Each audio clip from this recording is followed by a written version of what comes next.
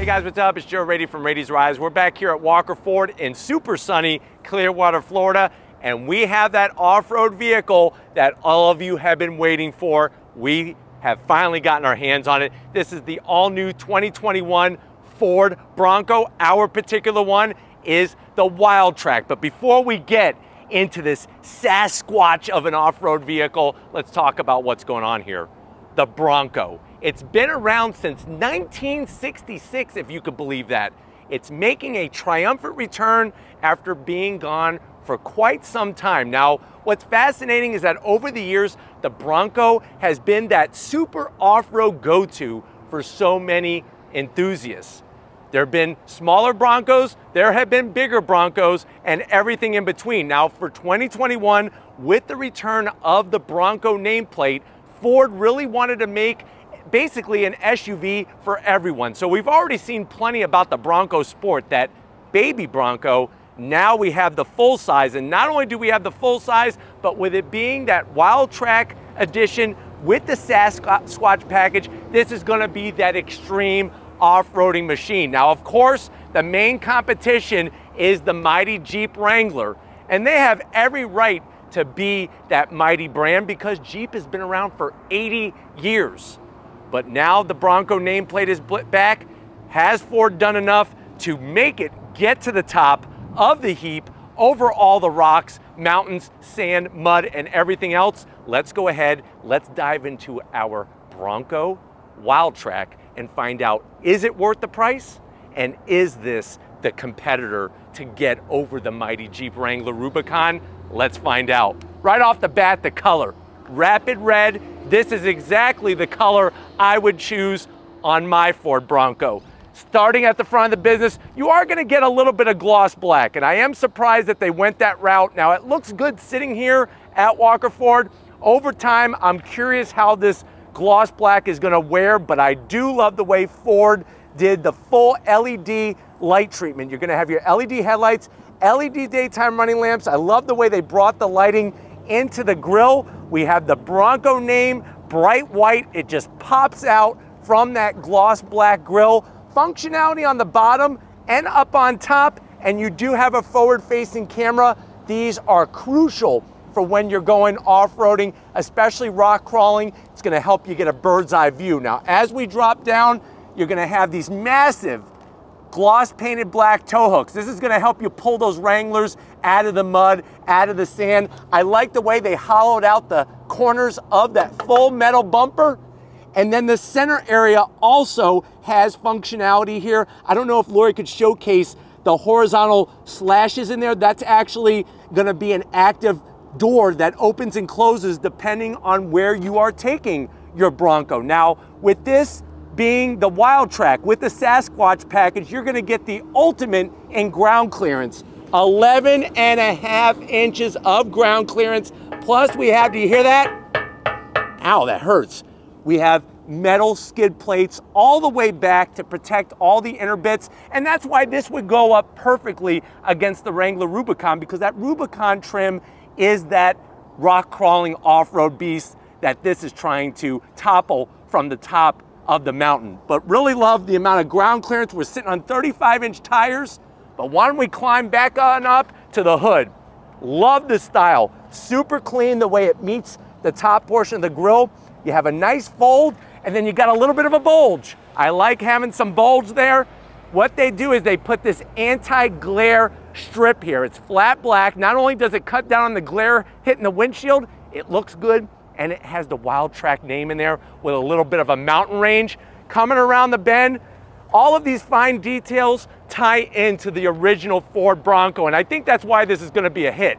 Nobody really does retro styling better than Ford. You look at the 2005, 2006 Ford GT, you look at the Ford Mustang, they really know how to take new and blend it with the old to get that connection for us. Coming around the bend, here's what I was telling you about. Sasquatch package, we have these beadlock off-road wheels, 17 inch gloss black with the Bronco logo there in the center, 35 inch Goodyears that are gonna help get through just about anything. 315 on the width, 315, 70 series sidewall. I'm gonna have Lori show off all the great suspension work there. You got your upper control arm, Bilstein dampers all four corners. Really did a great job with the suspension, with the ground clearance, and definitely this wheel and tire setup. Fender flare, absolutely ginormous. How far the fender is flared to cover those massive Sasquatch setup of a wheel and tire. Flat black, I think, is great because it matches perfect with the front bumper, and these are gonna take a nice beating. You can see all the classic lines. Look at the peak on that fender, just like the original. Everybody's gonna get a badge of honor on their Bronco. This one, Wildtrak Sasquatch, lets you know what trim it is. You got gloss black on the mirror caps, which is another weird area that they decided to go gloss black. You do have your old school antenna, and here's why I'm not gonna zonk it. Ford has done their homework. They talked to Bronco owners, and they said, what kind of radio do you listen to when you're out doing your, your thing in the wilderness? Many people said AM and FM. You actually get better reception with that antenna than with the shark fin antenna. And that's why on Ford F-150s, F-250s, and on this Bronco, do we have the old school antenna because they listen to the potential owners and the people that are gonna buy this Bronco. Now the mirrors do fold in. We also have 360 degree cameras all the way around. You can see our camera in our passenger window uh, mirror here in the side cap. And then you can also see how it's connected to the actual vehicle. Kind of unique how they took that part and then brought it over to really blend it in. Now going down the rest of the side of our particular Wildtrak, we have the standard on Wildtrak trim, the removable hardtop. Obviously the Bronco comes with a soft top standard, but when you check off Wildtrak, it automatically comes with that hardtop. Love the body line. Like I said, from fender into door, color matched on the door handles. Look at the side stripe. Just like that anti-glare stripe on the hood, we also have some stripe on the side with the Wildtrak badge and these Bronco specific, Bronco specific stationary running boards. They actually have the Bronco name on there. It does help with this package to get in and out, having those running boards for people who are shorter. Continuing towards the rear, I like the way they went flat black on everything, didn't put a bunch of gloss black up top. Remember, all of this is removable. Doors, roof, the whole shabam. Coming towards the rear, you can see that amount of ground clearance. Like I said, 11 and a half inches of ground clearance on the Wildtrak Edition. And then as we come around back, this is where you're gonna get more of that classic Bronco style. If you notice the taillights, LED on those taillights with the B. They did that on purpose. It's meant to look like a B, B for Bronco. The badging is spot on the money. Obviously, we have the spare mounted to the rear, and we're gonna show you once we open up this rear tailgate area what we got going on, but let's go ahead and drop down. You got full towing capability. Look at how where you have your towing capability to the right of that, you have your exhaust tucked up very, very nicely. Everything real clear to allow you to get through just about anything. But why don't we go ahead, let's pop the hood on our Wildtrak Bronco and see what's powering it. All right guys, we do have the hood popped. You do have a prop rod. I'm not gonna zonk it because guess what? The Wranglers also have prop rods as well. Now remember, comparing this Wildtrak not only to the Rubicon, but also to the Wrangler Mojave, that Desert Runner, what do we have for an engine setup on here? So we are actually gonna have the bigger of your two engine options. So what are we looking at? First of all, there's no engine cover, which kind of surprises me since obviously people are gonna take these in dusty, dirty areas and it kind of leaves everything exposed when it comes to the wires and tubes and everything else, but you're looking at a 2.7 liter EcoBoost V6. So what that means is it's a 2.7 liter twin turbo V6, 310 horsepower, 400 pound-feet of torque. It is mated to that slick shifting 10-speed automatic transmission.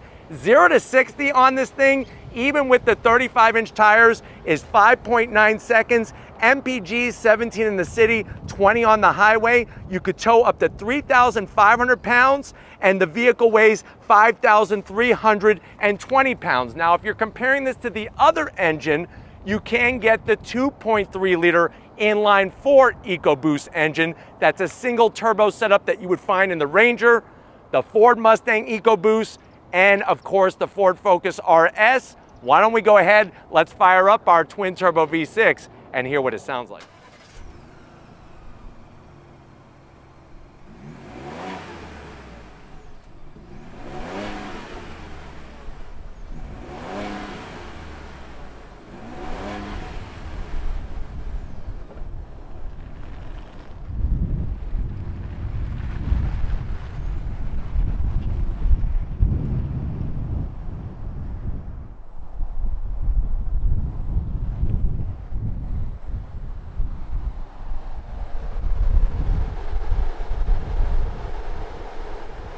Guys, we're inside this Wildtrak Sasquatch Ford Bronco, all new for 2021. I know you're at that point where you're saying, Joe, I've been waiting for this forever. It seems forever in a day. How much is it though? So remember, this one's a Wildtrak Sasquatch package, lots of goodies. You're looking at an MSRP a little over $58,000. Let's compare it to that Wrangler Mojave and that Wrangler Rubicon and see is it worth what we're getting for the money to the door panels. I do like what they did. It's not just all dark black. You have some of that nice tan material, which is soft touch, both at the top and on the armrest there. The rest of the door panel is hard black plastic, which the good news is will be able to be cleaned very easily. You do have a cargo net where maybe you could get, I would say, two hot pockets you could slide in there. And then if you see the word lift at the bottom, that's because remember the doors are fully removable just like the Wranglers. Now when we go from the door panel to the dash, you immediately get an oh crap handle, which is nice. They recess the AC vents, which are also the letter B for Bronco. In case you forgot how to spell Bronco, they actually stamp it right here for you. Coming to the center stack up top, you got the ability to lock the front diff, the rear diff, shut off the traction control. This one does not have the accessory bar where you can mount GoPros. That would be a nice extra touch in here. But look what we do have, over 12 inches. That's a 12 inch infotainment system. It's the new sync system, wireless Apple CarPlay, wireless Android Auto, navigation. You have your separate screen. There's a Bronco in case you forgot what the front end looks like. You could scroll through a cornucopia of information. And then obviously you could go into your different features, do your zone lighting, turn on the lighting all 360. Really nice. And these sync systems from Ford are very intuitive. I don't know though. The Uconnect 5 in the Wrangler, actually I should say technically the Uconnect 4, I feel like is a little bit more intuitive. And even though this screen is larger than what's in the Wrangler, there's something about the way that it's mounted in here that I'm not in love with. Just a little bit too much hard plastic. But uh, let me throw it into reverse, see what the backup cameras look like. So there is your camera out the back with your trajectory. We got our 360 degree camera. Obviously, we've been showcasing that. You could count all the gravel that's sitting in the asphalt of the parking lot here, but it's very easy to get through the different camera angles. I feel like the cameras in the Wrangler are just a little bit more clear. And then obviously we can go full panoramic. Look at that. That's that's a nice touch there that they did. Put it right back in the park and we're right back. Now, you'll notice the start stop button looks just like the headlight. You see the design there with the line? Just like the headlight. You got actual knobs for your radio, for the AC, dual climate control, heated seats, but no ventilated seats. But that makes sense because remember, everything is removable. You got your official Ford Twinkie tray, three Twinkies, plus USB-C and a USB. That's a nice touch. I do like this riveted plate that they have here with your VIN number, letting you know that it was built right in Michigan. And then this is gonna control our 10-speed automatic with the Bronco badging on it right there and the American flag. That's another nice thing. Just like the Wrangler, there's a ton of Bronco Easter eggs all over this thing. You got another oh crap handle for your passenger. I'm confused what the blue is about. Why they brought blue into the trim on this setup, but two cup holders, flat black. Let me show you your key fob. It is Bronco branded, which is a nice touch. Flip it around, you got your remote start. And then of course we have our go over any terrain knob. So you're gonna switch this for the different modes. Plus you go from two high to four low to four high. You got your hill descent control, all nicely done in this single knob area. The zonk for me is the materials. I feel like the center area on the Wrangler just feels a little bit better, put, you know, well put together. This kind of, I don't know, it just feels a little bit too much plastic, but you have all your window controls that are inboard so you could take off the doors very easy and you could adjust your mirrors. This thing is as hard as a rubber ball. And I don't know if you ever got hit in the head with a dodgeball. I think if I hit you in the head with this center arm console cover here, it probably hurt just like that dodgeball. But you open it up, what do we have? We have the optional Ford Safe. Let me do the code, don't look. Open it up. Yes, look what we got. A full bag, family size bag of Skittles. Keep those locked up away from the sticky fingers. Close that up, seats. Love the leather style material, the way it's got the Bronco kind of embossed in the back of the seat. The two-tone looks great. Full electric assist for the passenger and the driver. And then of course, we have more of those accessories. The Bimini top with your zipper storage here. Put a Twinkie up here, look. You don't believe me, look. Put the Twinkie up there so it's bouncing around. Also, up top, we have our auxiliary switches. Nice touch. You want to put a winch, you could use it to operate your winch, exterior lighting, whatever you got, big old air horn, one of those train horns, you want to scare everybody. And then of course, all the panels are going to come off. I'm six feet tall, plenty of room in here. Coming over the business end, I want to show you behind the wheel of our Bronco Wild Wildtrak. All right, guys, Bronco time. Come on in. You got your power seat controls, easy to get to down there. One, two, three, get it set up perfect, exactly the way you want. Lots of comfort, steering wheel, nice leather wrap, good thickness. I'm so glad that they came up with such a beautiful Bronco logo. Looks classy, but also 21st century. Flat black on these rubber style bump uh, buttons, which I think is gonna be perfect for when you have the roof off and the mud is coming in and the water and everything else.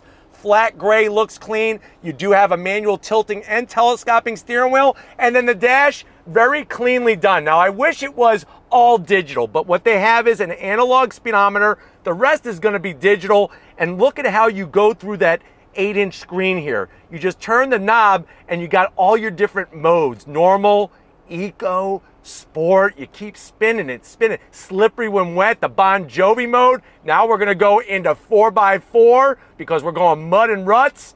You keep twisting sand and all the way to Baja, baby. Enter the Baja 500. Love the graphics, love having that flexibility. And of course, when you go into different modes, the different GOAT modes, it's going to adjust everything from throttle sensitivity to the 4x4 system, the whole shabam. But why don't we get in the back seat? Because we got four doors in our Bronco. Let's see how your passengers are going to like going off-road. All right, guys, back seat time in the full-size Bronco. Remember, I'm six feet tall, plenty of headroom, even with the Bimini top kind of drooping down a little bit. But we have that leather style material all the way around the back.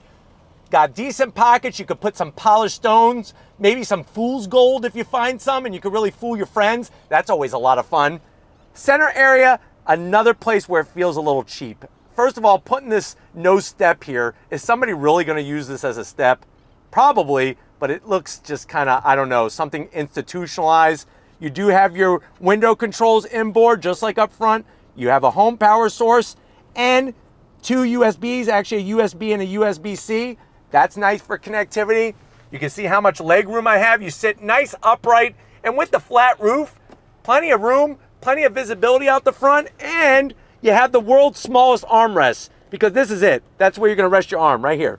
So basically it's a two cup holder rest, not really an armrest. I guess what you have to do is make sure you have somebody smaller than you that you could beat up, give them a punch right in the kidney, they'll bend over and then you use them as an armrest. But why don't we go ahead, let's get to the cargo area and see how much we could put in this Bronco. Right, guys, comparing this to the Jeep Wrangler Mojave and the Rubicon, let's see how much storage space we have. You're just gonna pull on the handle, swings open, just like on a Jeep product, and then we lift up the rear glass.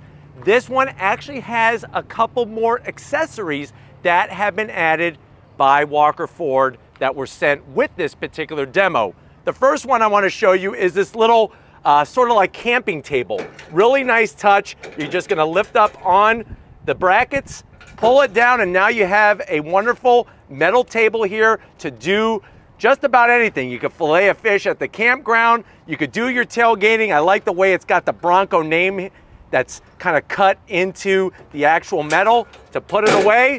One, two, three. And that's really the great thing about the Bronco is there's over 200 Ford approved accessories for this vehicle. Let me show you another one. We have the actual lockable metal Bronco cargo box. Watch this. Open it up. You're just gonna push, slide open. What we got? You got plenty of Twinkie storage in here. You can see all the separate compartments, separate your Twinkies from the other snacks. Theoretically, this would be perfect for somebody who's into hunting, camping, fishing, or just really that snack monster, just like I am. You can really load it up, and the best part is you can lock it and keep those people with sticky fingers out of your snacks. Closing it up, the rest of the space, you actually have usable storage you could easily put, I would say, four Costco hot dogs, still $1.50. They did not have, they have not raised the price of their hot dogs since 1985. You also have another storage area over there. You could actually put a small Nerf football that was signed by Tom Brady, and there's a 12 volt. Plus, the seats are gonna fold down. You'll see up top how we have that rapid red rollover bar because you could remove all of that wonderful roof there, cargo space, you're looking at 22.4 cubic feet of space, open everything up, up to 82.7 cubic feet of space. And then when you wanna hit the roads or go off-road, you're just gonna close everything up and you're ready to rock and roll. But if you're ready, I'm ready. Let's mount this Bronco and go giddy up on throttle in it. All right, guys, we're leaving Walker Ford. We're in the 2021 Ford Bronco Wildtrak on throttle. Here we go. At 10 speed drops down and we are off and running. Very, very fast, smooth shifts. And it is so surprising that for a vehicle that weighs this much on these 35 inch tires really gets up to speed very, very nicely. Now, visibility out the front is phenomenal. You see the two peaks of those very, very tall fenders. I have it in sport mode because we are on the asphalt jungle here. But back on throttle, here we go. Drops down and we are off. Super smooth. All right, guys, I think one of the things that I really love about this Bronco is that the way that it drives. Um, it, it definitely seems more planted on the asphalt than a Wrangler Rubicon or a uh, Wrangler Mojave and that really just gives it a nice sure confident feel as you're going down the road good feedback to the steering wheel good sensitivity and the fact that it's got so many modes i mean that really is going to separate it from the rest of the pack i guess the the question is is can ford you know build the devout following of hardcore bronco enthusiasts like the Wrangler has? That's that's the big question. But uh, I think with the way they have this interior set up, definitely bringing the technology piece for sure. And getting to the infotainment system is so easy. You have physical knobs as well. But we go on throttle? Here we go. Yeah. Driving the Bronco. I tell you, it, it's it's fun in all conditions. Whether you're driving it on the asphalt, whether you're driving it off road, it really has a great fun feel to it, and that is what I think a lot of people are going to gravitate to, and what a lot of people want. They want to have fun when they're driving, and as a car enthusiast, that makes me super happy. People need to be having fun while they're driving. Brakes feel good Stop on a dime, give everybody some horse manure. Pulling the right way here. Here we go. On throttle. we got the 2.7 liter. That's for sure. It's gonna be I'm gonna be curious to see what the 2.3 is all about, especially with a manual transmission. I think that would be super fascinating for sure. All right, guys, let's do a little bit of off-roading here. Nothing major, but uh, just to show the suspension travel. Look at this, one, two, three. Easy peasy in this Wildtrak. Really, really nice. The suspension action, uh, action and everything. Look at this. Really, really well put together. Going through this field here. Easy peasy. Look at that. So simple. Nice lots of fun. And this is obviously nothing. I mean, this is just a grassy field, but Just wanted to say, hey, I took it off-roading and just had a little bit of fun with it, but on throttle, here we go. Yeah! Kicking up a little dirt, you know, you gotta have a little fun, right? Nice, nicely done in this freaking Bronco. But this is what makes it so great is that you can be silly, you can be serious, you got it all. And then we're back on road again. Then you can go right back to two high, all by the press of a button. Nice setup, easy to use. All right, guys, let's go on throttle from a dead stop. On throttle, here we go. Getting the power down. Smooth shifts. Here we go. Nice. I tell you, just a fun freaking vehicle, no matter what. On the brakes, 10 speed is downshifting very nicely. Look at that. So well done. I think definitely in the engine department, that naturally aspirated V6 from Jeep just can't hang with this EcoBoost. That's for sure. Suspension damping is awesome. Uh, and just everything else, that whole big puzzle comes together and it's just a, a fantastic piece. But uh, we're gonna wrap this one up and get back to Walker Ford. So I'll see you in a split second. Another great day here at Walker Ford. Definitely want to thank Frank Walker, Weston Walker, Tracy, Austin, Greg, the whole crew here. So accommodating, got us their very first Bronco right off the truck. And what better way to do it than a Wildtrak edition for that desert running, for that rock crawling. Let me know what you think. Is it worth the price? What this Wildtrak with the Sasquatch package comes in at? Would you rather have a Wrangler Mojave or a Wrangler Rubicon over this Wildtrak edition? Put that in the comment section. If you're new to the channel and you're on the, your way out, hit that subscribe button. I promise you it's worthwhile coming back for more. If you are a subscriber, thank you for being part of the Raiti's Rides family. If you want to help us keep making great content just for you in the channel, click the first link in the description, become a Raiti's Rides Patreon member. You get to see a lot of the behind the scenes stuff. Click the second link, get yourself some Raiti's Rides merch. Gotta give it up to the queen of the camera. I know which way she would go. Can you guess what Lori would take? A Wrangler Mojave or Rubicon or this Ford Bronco? Put that in the comment section. Thank you, Lori, for being the muscle behind the camera and busting your butt out here. And just like always, guys, I'll see you on the next ride.